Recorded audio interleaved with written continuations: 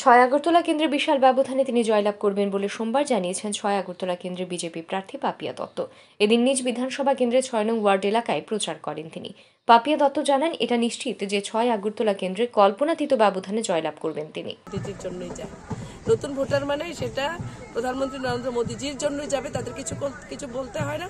তারপরেও বলব যে সাথে ভারতবর্ষ, মোদিজি নেতৃত্বে এবং আমাদের রাজ্য সরকার নেতৃত্বে যুবকদের জন্য যে স্বপ্ন, যে কল্পনা তাদের আগামী ভবিষ্যতের জন্য করে রেখেছে, সেটা সার্থক করার জন্য ভারতীয় জনতা পার্টির বিকল্প কিছু হতে পারে না। বিশেষ করে গতকাল একটা দুর্ভাগ্যজনক, মর্মান্তিক বেদনাদায়ক ঘটনাও হয়েছে।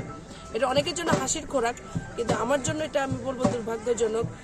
এলাকার সম্মানীয় বিধায়ক, এত বছর এত বাম বিরোধিতা, এত বাম বিরো- বিরোধিতা। কিছুদিন আগে, গতকালে একটা ভিডিও ওনার ফুটেজ ভাইরাল আমি হতে দেখেছি যে সম্ভবত এটা দু হাজার আঠারো সালের হবে। কমিউনিস্টদের অত্যাচারের কথা উনি বলছিলেন। কমিউনিস্ট আসলে এত হত্যা হয়, বিভিন্ন ধরনের কমিউনিস্টের বিরুদ্ধে উনি সোচ্চার হয়ে উনি সেখানে ভাষণ রাখছিলেন। কিন্তু গতকাল যেভাবে চোট হতেই পারে অ্যালায়েন্স নাও হয়েছে, সেটা আমি মেনে নিলাম। অ্যালায়েন্স অনেক সময় করতে হয় বা করতে করেছেন তারা, মিলেছেন। কিন্তু এটা এত দূর যেভাবে উনি ইনক্লাব জিন্দাবাদ। আমি অ্যালায়েন্স মানে আরেকজন, আরেকটি দলের আমার স্লোগান, ইনক্লাব জিন্দাবাদ। সেটা সত্যি আমার মনে বিশেষ করে কংগ্রেস কর্মী যারা, তাদের এটা ভীষণভাবে আহত করেছে মানে আঘাত পেয়েছেন তারা।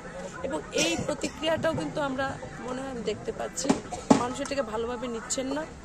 এবং ঠিক আছে, এটা ওই দিক আলাদা, আমরা ওগুলো নিয়ে আলোচনা করতে চাই না, কারণ ওগুলো আমাদের বিষয় না। আমাদের মূল বিষয় হলো বিকাশ, ডেভেলপমেন্ট, সবকা সাথ, সবকা বিকাশ, ওটা নিয়ে আমাদের মানুষের কাছে যাও।